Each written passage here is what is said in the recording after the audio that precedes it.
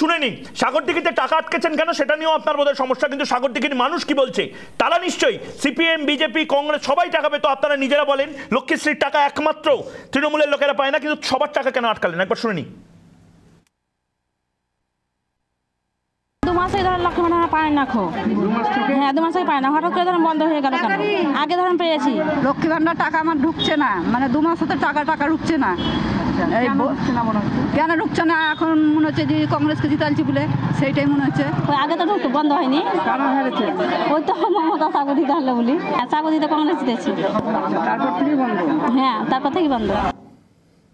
কৌস্তব চ্যাটার্জি, আমার সত্যি অসুবিধা হচ্ছে। আমার অসুবিধা এক, এই মানুষগুলোর জন্য সাগরদিঘিতে এরা কংগ্রেসকে ভোট দিয়েছে। কংগ্রেসের জায়গায় বিজেপিকে ভোট দিয়েছে হয়তো, বিজেপির জায়গায় আইএসএফকে ভোট দিয়েছে হয়তো। তৃণমূলকে ভোট দেয়নি বলে আজকে প্রকল্পের টাকা আটকাচ্ছে, আজকে এটা সাগরদিঘি মডেল হচ্ছে।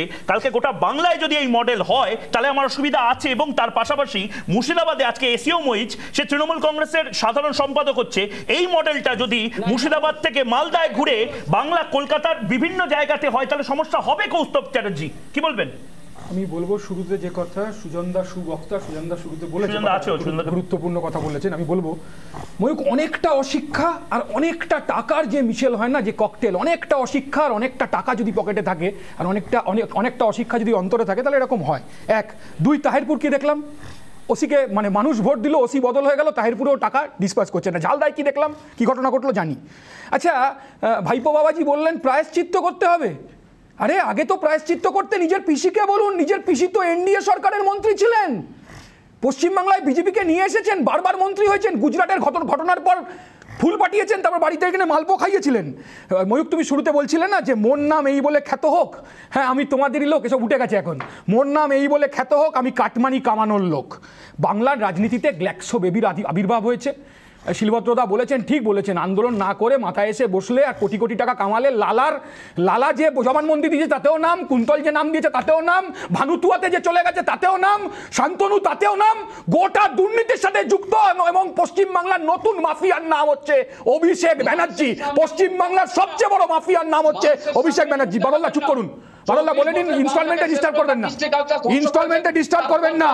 ইনস্টলমেন্টে ডিস্টার্ব করবেন না বলে দিতে দিন। আমি বলছি আমি বলছি যে পাপ পুণ্য কাকে শেখাচ্ছেন? কে পাপ পুণ্য আমাদের আমরা যে হেরে গেছি দু হাজার এগারো সালে মানুষ ভুল করেছে? না আমরা ভুল করেছি। আমরা মানুষকে বোঝাতে পারিনি কোনটা মুখ আর মুখোশ। এগারো বছরে মানুষ বুঝতে পারছে। কত অত্যাচার করছেন বাবু একটু চুপ করুন। একটু চুপ করেন না। আমি আপনারা আপনাকে বলবেন যাচ্ছেন কেন? আরে যাচ্ছেন কেন? দেখে যাচ্ছেন নাকি? কি আসার জ্ঞান না থাকলে বলবেন না। ঘাবড়াবেন না। আসার জ্ঞান না থাকলে বলবেন না। ঘাবড়াবেন না।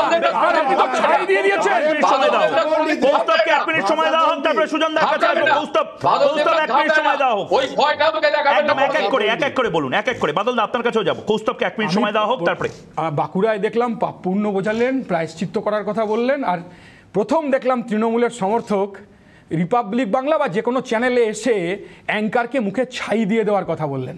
আসলে এগুলো ভয়ের থেকে হচ্ছে। আজকে জাজ যা বলছে আজকে কোর্ট যা বলছে আজকে ইন্টারোগেশনে যা বেরোচ্ছে হ্যাঁ, শালির অ্যাকাউন্টে টাকা রুজিরা নারুলার অ্যাকাউন্টে টাকা ভাই ভাই পদের অ্যাকাউন্টে টাকা এখন হবে এসব? তৃণমূল কংগ্রেসের সাগরদিঘিতে গরু হারিয়ে গেছে। দুর্নীতি করেছে।